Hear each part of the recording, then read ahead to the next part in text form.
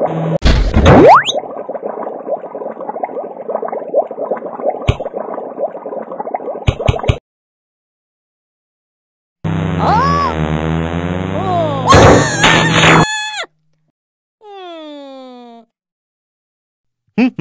you can see how it's displayed. Flight number ACA, Air Canada Airlines 015, and ATC facility, Bird. Entry point is Canal, which is on the flight plan. We've requested flight level 310. Here's our estimated time of arrival for that point, and we're requesting Mach 0.83. Okay, so we got our CPDLC link with.